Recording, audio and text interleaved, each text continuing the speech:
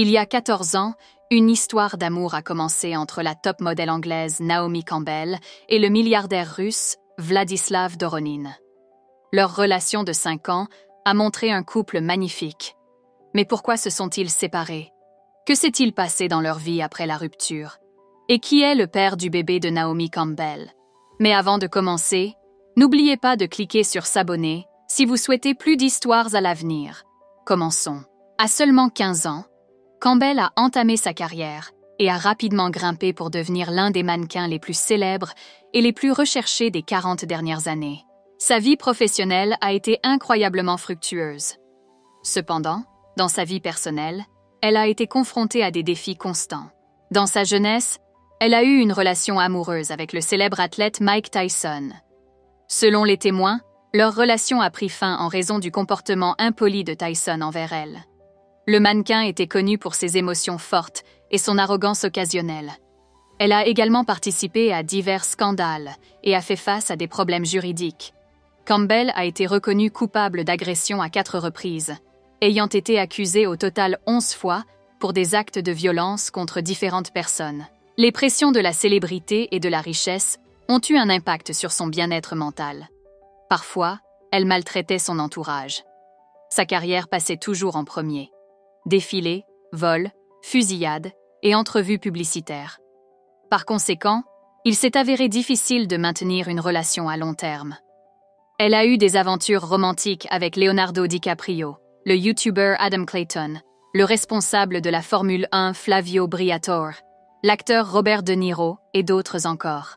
À 38 ans, elle a rencontré le milliardaire russe Vladislav Doronin au Festival de Cannes, marquant le début d'une relation sérieuse.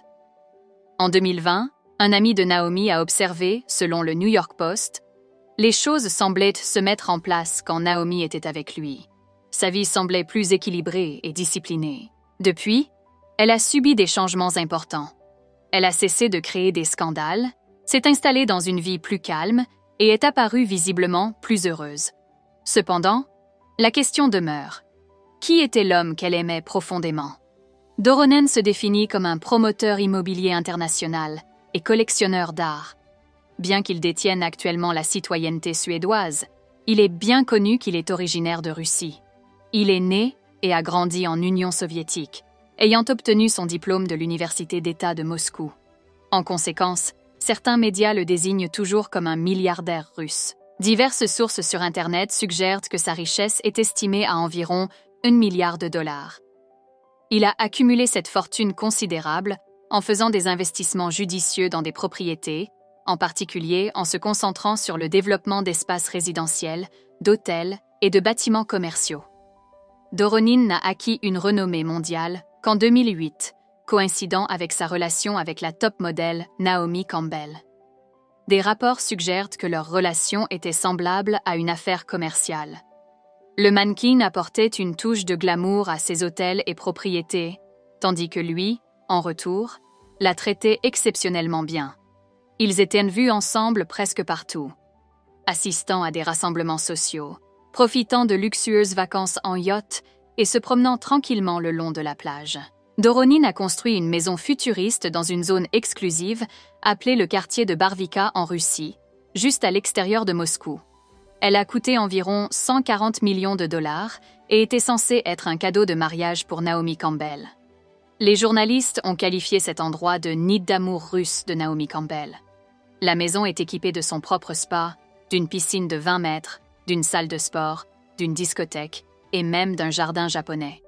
Beaucoup de fans de Naomi anticipaient son mariage avec l'homme d'affaires. Cependant, leur relation s'est terminée en 2013 et le mariage ne s'est jamais concrétisé. D'un point de vue extérieur, il semblait que l'homme d'affaires avait atteint ses objectifs. Il a acquis de la renommée tandis qu'elle recevait des cadeaux extravagants. Pour le 41e anniversaire de Campbell, Doronan lui a offert somptueusement une maison de vacances de 25 chambres en forme de l'œil égyptien d'Horus.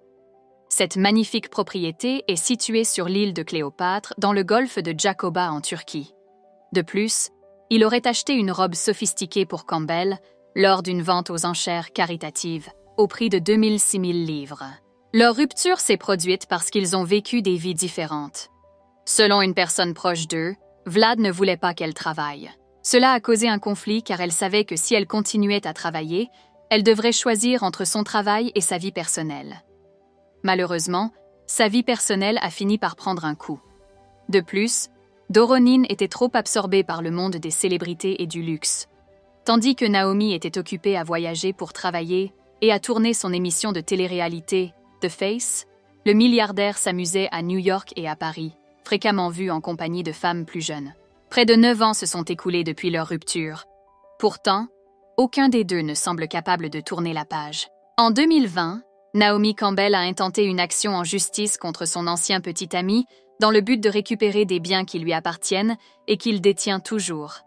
Elle a persistamment demandé le retour de ces objets depuis des années. Doronine a répondu, en déposant une plainte devant le tribunal, affirmant que les biens en question sont en réalité sa propriété personnelle. Il soutient que son ex-copine retient des objets d'une valeur de plus de 3 millions de dollars, insistant sur le fait qu'ils lui appartiennent légitimement. Cette histoire était une belle histoire d'amour qui n'a pas eu une fin heureuse.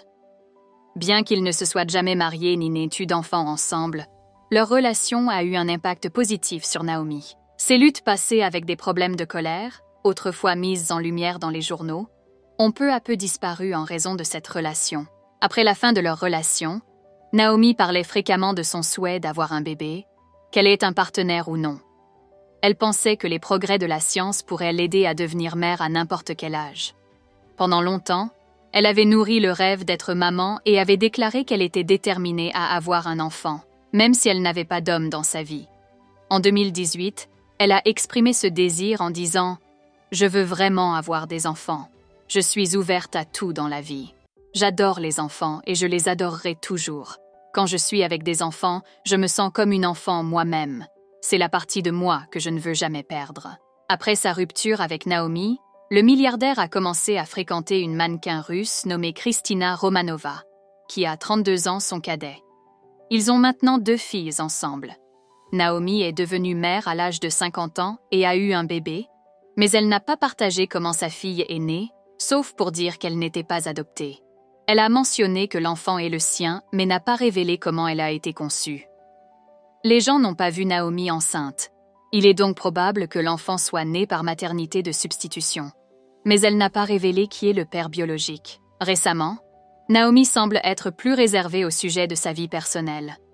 Ce que nous savons, c'est qu'elle aime profondément son enfant et lui accorde beaucoup d'attention.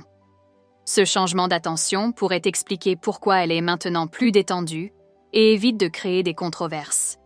Il n'est pas clair si Naomi a actuellement un partenaire.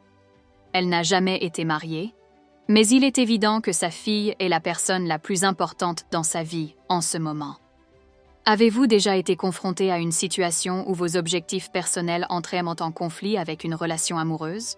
Et voilà, c'est tout pour cette vidéo. Et s'il te plaît, n'oubliez pas de cliquer sur s'abonner si vous souhaitez plus d'histoires à l'avenir. Merci de nous avoir regardés.